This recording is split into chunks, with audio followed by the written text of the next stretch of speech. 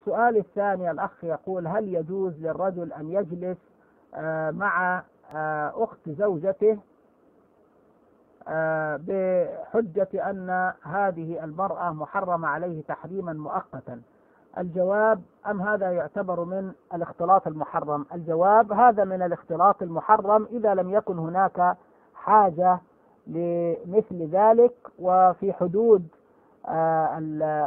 يعني الضوابط الشرعية بمعنى أنه إذا كان آه، يعني هناك حاجة في جلوس هذه المرأة كإصلاح بينه وبين أختها أو كتدخل منه للإصلاح أيضا بينها هي وبين زوجها مثلا أو نحو ذلك فلا حرج. وأما قضية آه، التحريم المؤقت فكل امرأة متزوجة هي محرمة تحريما مؤقتا على أي رجل فهل يجوز يجيز ذلك أن يتجالس الرجل مع هؤلاء النساء أو هذه المرأة مع الرجال؟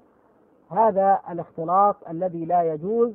وأما الكلام فإذا كان يحتاج إلى أن يكلمها في أمر فيكون الكلام من وراء حجاب وفيما يحتاج إليه والله سبحانه وتعالى أعلم.